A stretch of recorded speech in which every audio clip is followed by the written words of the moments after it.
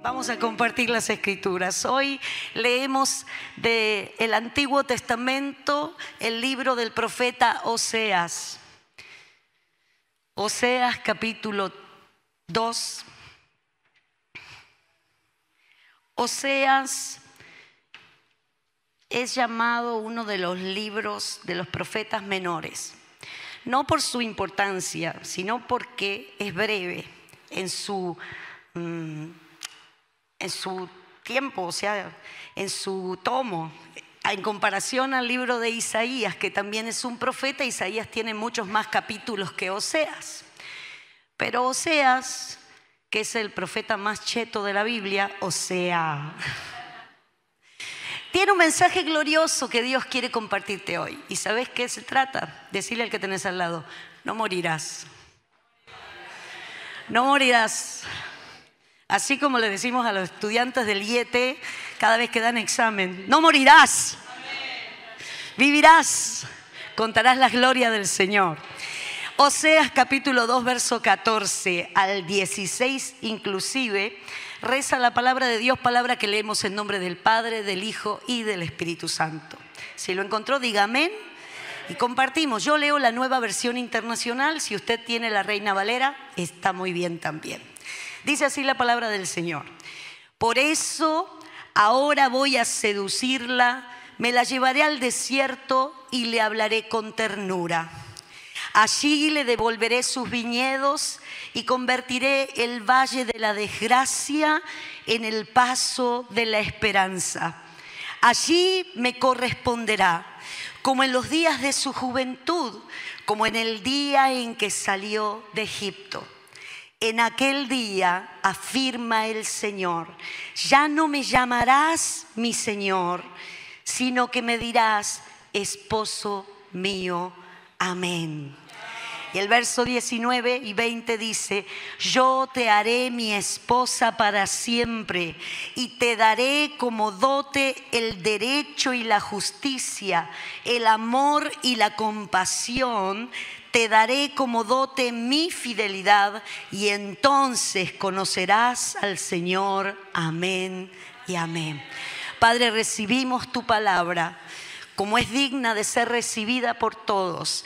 Declaramos que ninguno de los que estamos aquí ni de los que nos ven a través de las redes será igual.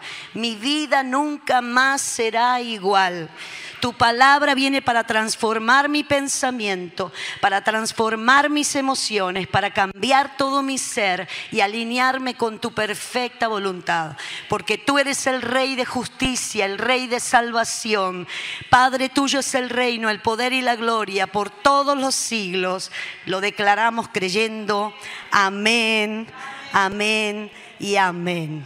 Gloria al Señor. Puede tomar asiento. No sé si lo hice anteriormente, pero traigo los saludos de mi esposo Isaías, de mis hijos Bianca y Nemías. Ellos quedaron en Panamá esta vuelta. Oramos al Señor poder venir juntos el próximo año, si el Señor lo permite. Así que si usted estaría de acuerdo, ore conmigo. Si dos nos ponemos de acuerdo sobre cualquier cosa, Dios lo hace. Amén. Por lo menos sabemos dos. Gloria a Dios. Eh, meditando en la palabra del Señor, le decía cuántas cosas uno descubre en la intimidad con Dios. Y una de las cosas más importantes que he descubierto con Dios en estos últimos tiempos es que normalmente ah, las cosas más difíciles que pasamos no las buscamos, normalmente las evitamos. Y pensamos erróneamente que es Satanás el que las provoca. Y no siempre es así, en especial con nosotros sus hijos. Porque la Biblia dice que Dios no aflige ni entristece voluntariamente a los hijos de los hombres. Eso quiere decir que Dios no es que está contento en el cielo, regocijado mientras la gente sufre. Y menos sus hijos. Pero a veces por una de esas cosas de su corazón, Dios permite que pasemos y más que permitirnos, hace que el Espíritu Santo nos lleve a situaciones extremas, a situaciones inhóspitas. Y yo te quiero mostrar, por ejemplo, lo que encontré buscando en estos días. En el profeta Ezequiel capítulo 37, el verso 1 dice, la mano del Señor vino sobre mí. ¿La mano de quién? De Dios. No la mano del diablo, dice la mano del Señor.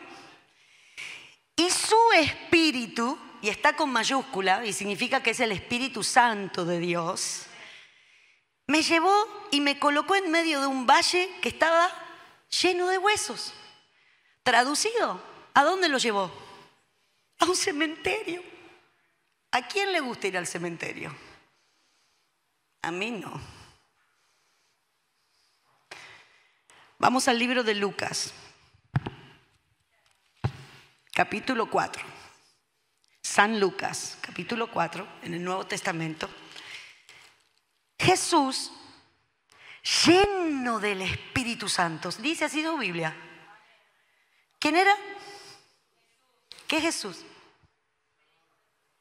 El carpintero de Nazaret. Sí, pero también era Dios mismo. Jesús, lleno del... Volvió del Jordán y fue llevado por Satanás al desierto. ¿A dónde? ¿A dónde? Espera, el Espíritu Santo toma a su profeta y lo lleva al cementerio. El Espíritu Santo toma a Jesús y se lo lleva al desierto. ¿Por qué no se lo llevó de vacaciones al Caribe? ¿Por qué no se lo llevó de, crucero? ¿O un viajecito a Disneylandia? Pero cuando tú y yo el Espíritu de Dios nos lleva al desierto, lo primero que decimos es, ¿por qué? Yo exagero, pero usted a lo mejor es más delicado dice, ¿por qué Señor? ¿Por qué otra vez? ¿Otra vez? ¿Qué hice? O a veces hasta nos animamos y ¿por qué a mí, no a él? No, usted no lo pensó nunca. Usted está demasiado santo y esa solo fui yo, que se me ocurrió en más de una ocasión preguntarle, ¿por qué, ¿por qué conmigo estás ensañado? ¿Otra vez? ¿Qué tal el hermanito que se sienta allá adelante? ¿Ves? Que tiene carita de que no le pasa nada, está siempre feliz. ¿Usted nunca hizo eso? No. Pero yo estoy aquí para predicarle y contarle que le puede pasar. Que si no le pasó, le va a pasar. Y cuando le pase, recuerde este día. Y recuerde que el Espíritu de Dios me movió de Panamá para hacerte recordar que estás en el desierto, pero que no morirás. Dios no te lleva a lugares difíciles para que te mueras o para que solamente te aflijas. Dios no te lleva al desierto porque estás en una vendetta, porque se está vengando contra ti, porque hiciste algo malo. Puede que sí hayas hecho cosas malas, Ninguno está exento. Por eso vino Jesús, porque vos y yo necesitábamos un Salvador. Si fuéramos tan buena gente, no hubiera dejado su gloria.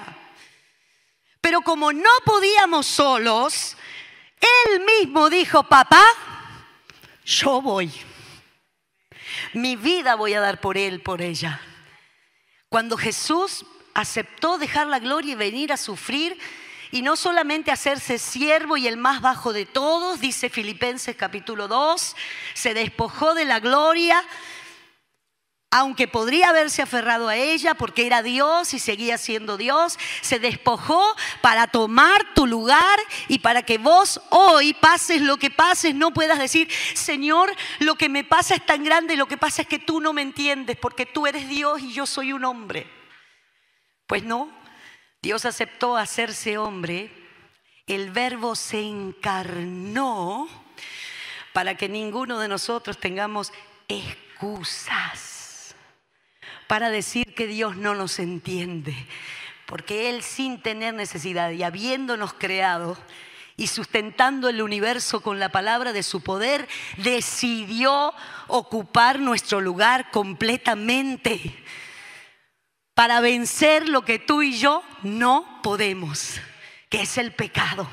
Es lo único que nos separaba del Padre y Él vino a hacer la paz y mediante su sangre eliminar de en medio todo pecado y volver a ponernos en comunión con Dios y por medio de esa común unión tener paz. Y conservar la paz de Dios en nuestro corazón muchas veces exige no distraernos. Muchas, muchas, muchas veces ya estando, yo estoy hablando con gente que conoce a Dios. ¿Cuántos conocen a Dios? Jesús entra a tu vida y empiezan los asuntos difíciles. Al principio todo bonito y color de rosa, qué bendición. Y cuando empiezan los problemas, a mí nadie me dijo que esto se ponía así. Yo creo que más de una vez me va peor que antes. ¿Nunca escuchó a alguien que dijo eso? O usted mismo. Yo me parece que antes no tenía tantos problemas como ahora. Desde que vengo a la iglesia, No se trata de que vengas. La iglesia eres tú. Por eso el diablo te pone problemas. Por eso el diablo se ensañó contigo. Porque él no puede tocar a Dios, entonces busca tocar lo que él más ama. ¿Y sabes quién es el que más ama a Dios? Mira al que tiene al lado y decirle, eres tú. Sos vos. Vos sos lo más amado del Padre. Por eso Satanás se ensañó contigo.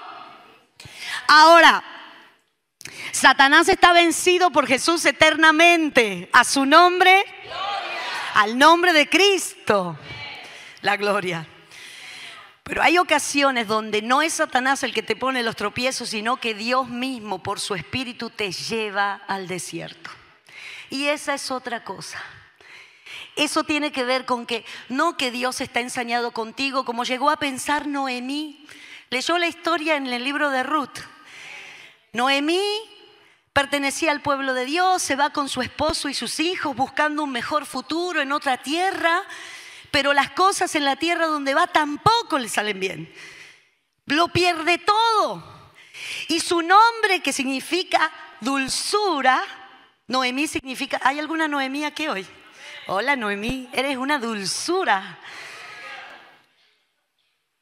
Noemí se siente tan herida, tan profundamente lastimada. O sea, le había muerto el marido y se le murieron los dos hijos. Ya no tenía nada. Y decidió volver a su tierra. Pero volvía con una imagen dañada del Dios que la amaba. Dice que cuando la vieron venir, dice, ay, viene Noemí. No, no, no, no, no. Ya no me llamo Noemí. Dígame Mara. Mara significa amarga. No hay nada peor que una mujer amargada. Yo también.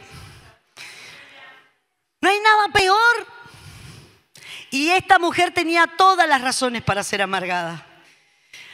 Pero había una que tenía que ser sanada. Si usted lee en, Ruth, en el primer capítulo, va a encontrar, dice, no me digas dulce o Noemí, llámame Mara porque la mano del Señor se ha revuelto contra mí. ¿Qué estaba diciendo? Dios me tiene por enemiga. Dios me, me tiene la vendetta. Se está vengando de mí porque me fui de la tierra y un montón de historias que le vinieron a la cabeza. Cualquier parecido con tu realidad no es pura casualidad. El cielo no improvisa, el cielo ministra.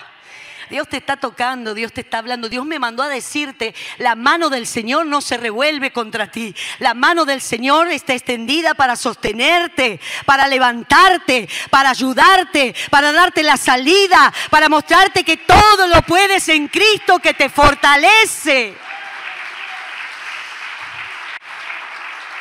Y que eso no te exime de que pases por el desierto.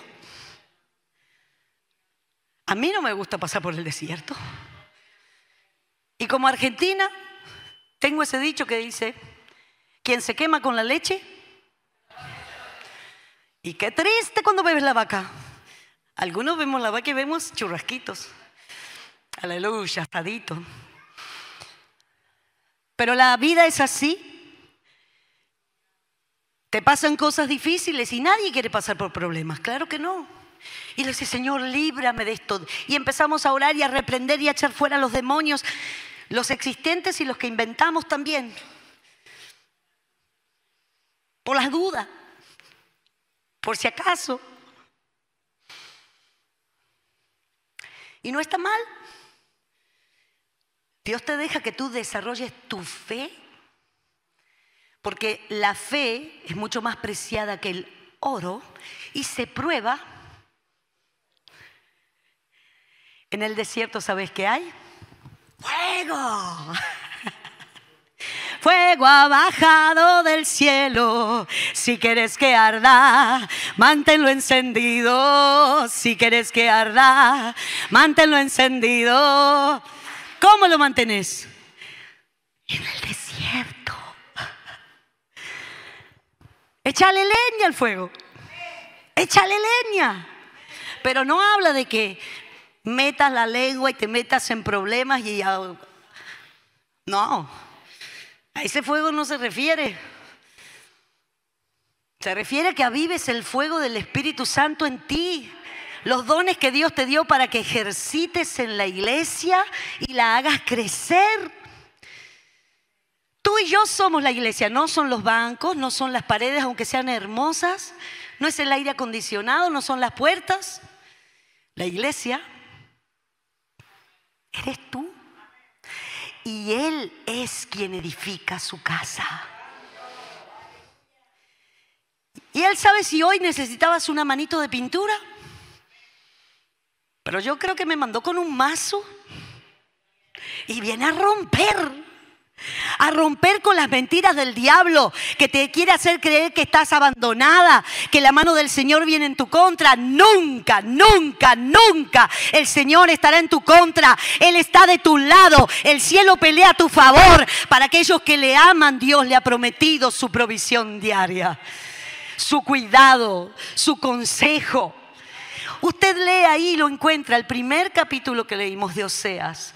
La Biblia nos muestra dos cosas poderosas. Lo primero es que Él te va a traer al desierto. Él es el que nos seduce. En esta historia está hablando de la esposa de Oseas y vuelve y hablando del pueblo de Israel. Pero nosotros lo traemos a hoy a la iglesia. Muchas veces nos alejamos de Dios, nos envolvemos en los asuntos de la vida, que pueden ser a veces muy valiosos, pero que nos apartan del propósito y de la verdad divina, que nos hace descuidar nuestra relación con Dios. Dios no está tan interesado en tu prosperidad física o, económica como en la prosperidad de tu alma.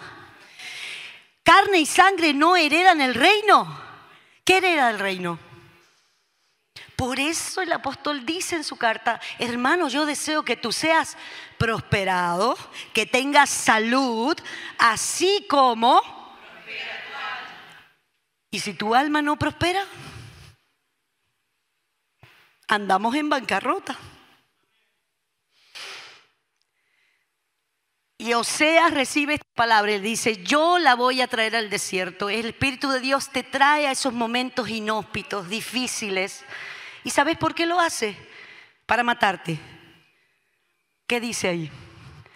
Le hablaré con ternura. La traeré y la llevaré al desierto y hablaré a su corazón. Dios te quiere comunicar algo. Decirle al que tenés al lado, Dios te quiere hablar. Y a veces no hay forma de que lo escuches. A veces no lo escuchás de otra forma y entonces te tiene que llevar al desierto, a donde no haya nadie que te distraiga, donde es un poco molesto estar. ¿A quién le gusta la arena? En la playa, por supuesto. Nadie pensó en sus propias vacaciones en el Sahara, ¿o sí? ¿Hay alguien que quiere ir al desierto de... ¿Cómo se llama el desierto del norte de Jujuy? A ese mismo. Ajá, de Atacama. ¿Alguno quiere ir al desierto de Atacama este verano? ¿Verdad que no? Pero es lindo. Un rato visitarlo, pero estar ahí indefinidamente, porque dice que te lleva el Espíritu, pero no dice cuándo te vuelve. Hasta que lo escuches. Y dice, no solamente le voy a hablar con ternura, Dios no te va a llevar al desierto para que mueras ahí o que lo odies. Dios lo que quiere provocar en ti es que lo ames más más a Él que a tu trabajo, más a Él que a tus hijos, más a Él que a tus relaciones, más a Él que a todo lo que tengas, porque oye Israel, Jehová tu Dios uno es y amarás al Señor tu Dios con todo tu corazón, con toda tu alma, con todas tus fuerzas y a tu prójimo como a ti mismo. Pero si no amas a Dios, a tu prójimo menos. Volvemos. Le hablaré a su corazón y allí le devolveré sus viñedos. Pero si yo nunca tuve uno, no está hablando de las cosas físicas, lo que está diciendo es le voy a devolver lo que ella piensa que perdió. Yo no sé qué tú pensaste que perdiste. Yo no sé la situación que vives, qué te hace pensar de ti misma, de lo que tienes, de tu relación con Dios. Pero Dios dice que Él te está llevando al desierto primero para devolverte su amor perdido, para recordarte que Él tiene para ti todo lo que tú necesitas, que no hay otro fuera de Él. Y dice, y convertiré el valle de la desgracia, que ahí ustedes dicen el valle de Acor. Acor significa desgracia. Esto también me hace ver que podemos pasar por situaciones de desgracia. No las queremos, claro que no. Yo no las quiero. ¿Usted la quiere? Tengo un par que puedo darle si quiere. ¿No? Pero si te hace falta, ¿con qué curaste tu última infección? ¿Con postrecito de chocolate?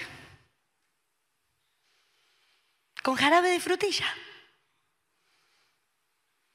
¿A quién le gusta inyectarse penicilina? A nadie.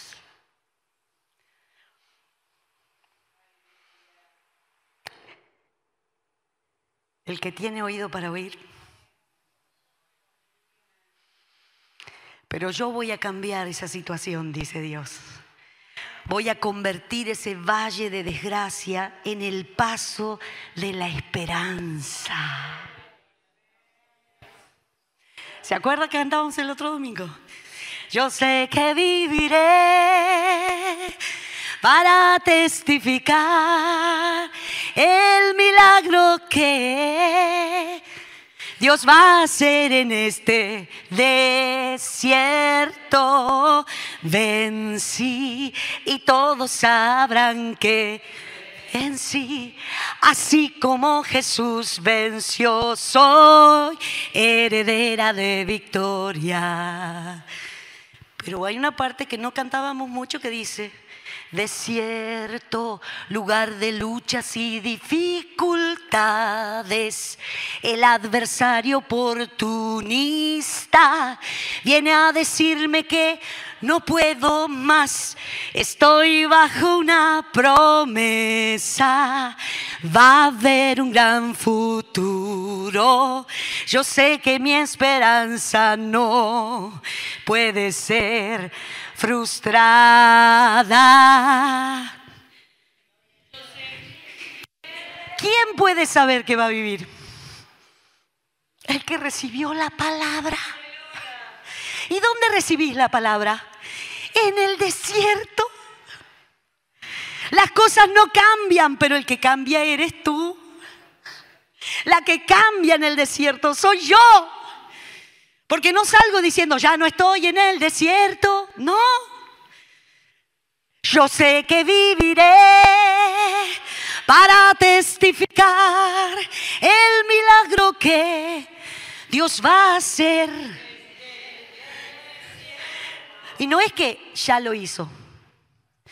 me da la fe para creer que lo va a hacer. Porque no se trata de mi tiempo, se trata de su fidelidad. Él lo dice, Él dice, yo voy a transformar las cosas porque allí me va a corresponder como en los días de su juventud. ¿Sabe qué significa eso?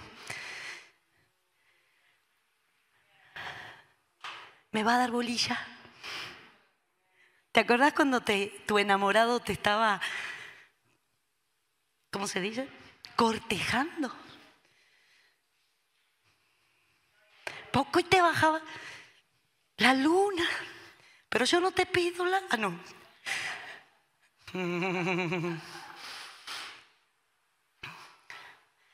Dios dice lo mismo, yo voy a ser tu enamorado de verdad. Y, y te voy a enamorar hasta que me des bolilla. hasta que deje de chifiarme, decimos en Panamá. Hasta que deje de, de huir de mí. Te voy a hablar palabras de amor. Te voy a entonar mis poemas te voy a traer mis premios. Él no te va a bajar la luna, Él te bajó el cielo. Y te invita a que te vayas con Él. Yo no me quedo, me voy con Él. Yo no me quedo, me voy con Él. Yo no me quedo. Ay, que Cristo viene, señales hay almas salvadas viene a buscar. Los que se quedarán, los que velaron. Yo no me quedo, me voy con él. Yo no me quedo, me voy con él. Yo no me quedo. Maranata, Cristo viene.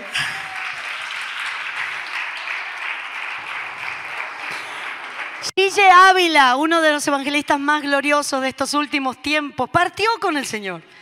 Él era el que más pronunciaba esto, ¿se acuerda? Cristo viene. ¿Y ahora que Él se fue? ¿Y Cristo no vino? Para eso estás tú. Y estoy yo para que sigamos lo mismo, porque de que Cristo viene, viene y no lo para nadie. Pero algunos lo tienen por tardanza y la Biblia dice, no queriendo que ninguno se pierda. Por lo tanto, te tenés que levantar y anunciarlo. Tenés que avisarle a la gente que Cristo viene. Hoy está más cerca su venida que el día que creímos. Yo no sé si es hoy o dentro de un rato, pero venga cuando venga, yo lo voy a estar esperando. No se quede de brazos cruzados, no se quede esperando a ver qué va a pasar. Aférrese a la palabra, vas a volver al primer amor y en aquel día ya no me llamarás Señor, sino que me dirás esposo mío. ¿Qué significa? Las cosas entre tú y yo, dice Dios, van a cambiar nos vamos a comprometer de verdad. No porque Dios no esté comprometido, no sé si usted me explica, me entiende. ¿Me explico bien? ¿Quién tendrá que comprometerse? Ah, ah. Porque al desierto te llevó a ti. La cosa es contigo, con nadie más. Estás en el desierto. Atiende a la voz del que te habla. Escúchalo y comprométete con Él porque Él no quiere ser tu Señor, Él quiere ser tu esposo.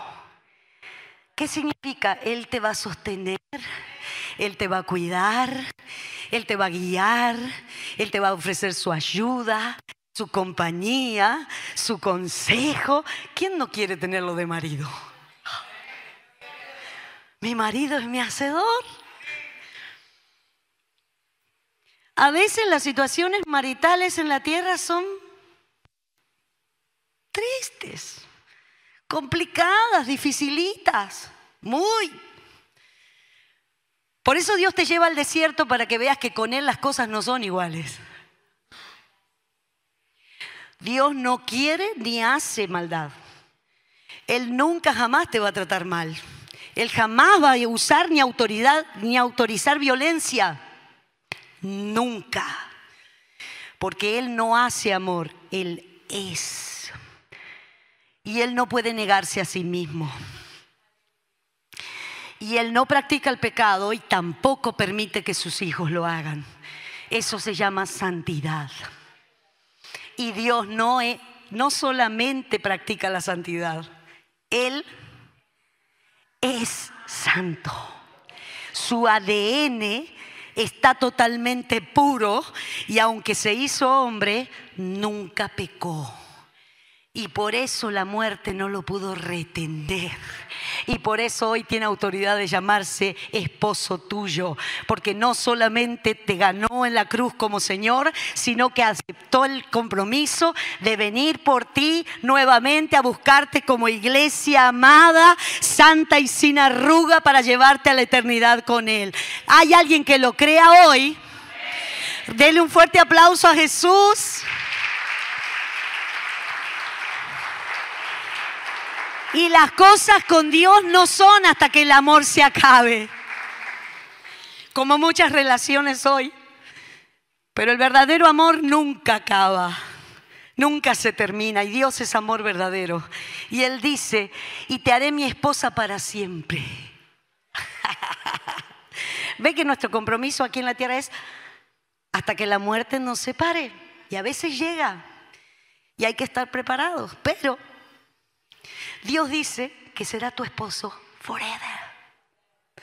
Para siempre.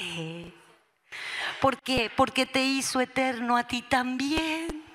Cristo dentro de ti te dio eternidad y tu historia no se acaba acá en la tierra. Tu historia puede terminar aquí, pero es un punto seguido porque lo que viene es lo mejor. La eternidad con Cristo es a lo que a todos debemos apuntar. Y Él dice, y te haré, te haré mi esposa para siempre y te daré como dote. Mi compromiso se va a demostrar en justicia y amor y compasión y te daré como dote mi fidelidad. Entonces conocerás que yo soy el Señor.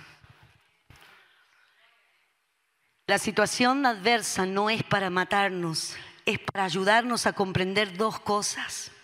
Número uno, que Dios no se conforma con un amor de ratitos. Él quiere un amor eterno. Porque Él es eterno. Y te va a buscar y te va a llamar y te va a hablar al corazón suavecito, enamorándote, para que no quieras seguir huyendo, para que te quedes con Él. Y número dos, te promete que lo, la relación con Él es seria, eterna y de fidelidad. Él es fiel y quiere que tú también lo seas. Por eso tenés que aprender a vivir en todas las circunstancias, dejando de poner excusas, porque los seres humanos somos expertos en excusas. Cualquier colectivo nos deja en la parada.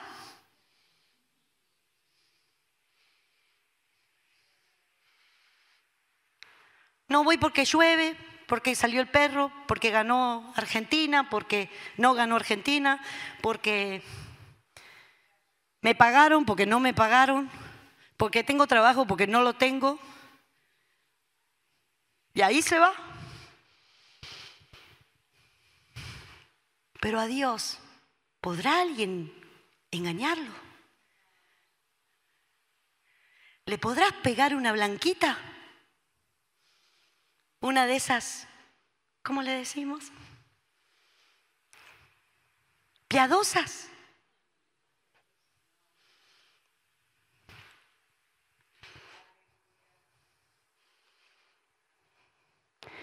Yo te atraeré al desierto y hablaré a tu corazón. No voy a quitarte la vida. Te voy a mostrar qué seria es nuestra relación te voy a enseñar que fuera de mí no hay otro. Te voy a mostrar a ciencia cierta, a corazón sellado, marcado por fuego, que espero de ti la misma fidelidad que yo te tengo a ti.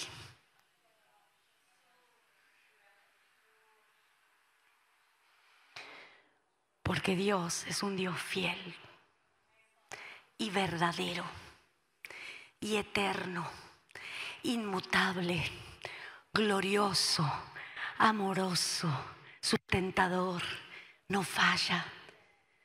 ¿Ese es tu Dios? Póngase de pie. Cierre sus ojos un momento para que no lo distraiga la gente alrededor y deje que Dios selle esta palabra en su corazón. Dios no es hombre que mienta ni hijo de hombre que se arrepienta. Todo lo que ha dicho lo hará.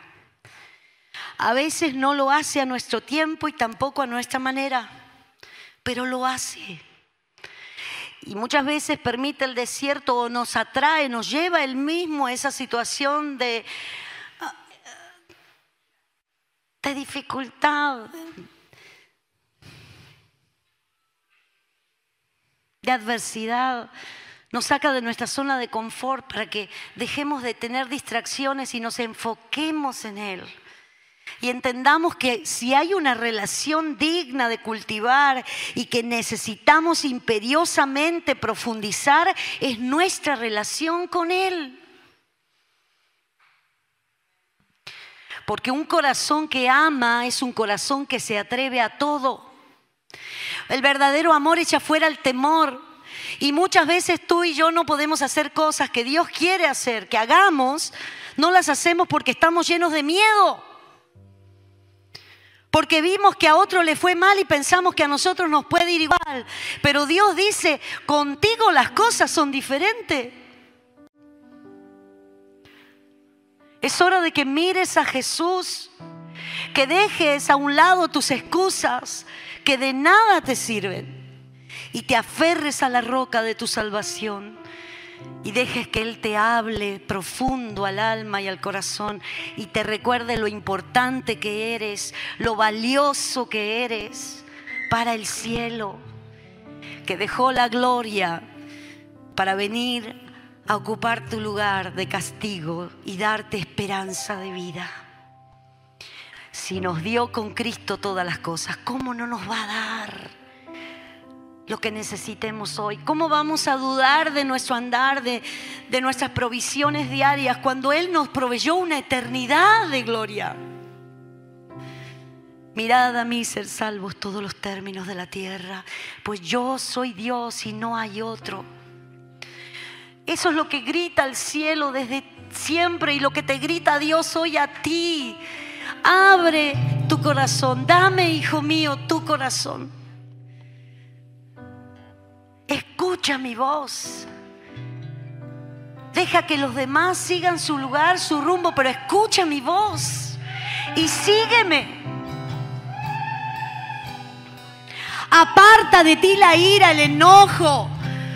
Apártala de ti, de tu corazón la falta de perdón, la insensatez, la frustración, arráncala de tu corazón y deja que la vida de Dios te inunde el alma, el corazón, cambie tu espíritu, para que cambies tu actitud y así como Noemí entiendas que Dios no está peleando contigo, que tú ya no debes seguir peleando con Dios. Es hora de rendirte a Él. Es hora de venir a Jesús. Ahí donde estás, dile Jesús, te rindo mi corazón. Hoy te rindo mi ser, te doy mi corazón. Yo vivo para ti en cada palpita, mientras haya aliento en mí Dios, haz tu obra en mí. Hoy te rindo mi ser, te doy mi corazón. Yo vivo para ti en cada palpita, mientras haya aliento en mí. Dios, haz tu obra en mí. Ahí donde estás. Quiero hablar con los que nos siguen a través de las redes. Si hay alguien o en este lugar que nunca ha rendido su corazón a Jesús, que entiende que ha hecho su vida a su manera, pero que hoy quiere volver en amistad, quiere darle su corazón y su vida entera a Jesús para que sea su Señor y también su marido. Aquel que lo sustente y lo abrigue por la eternidad.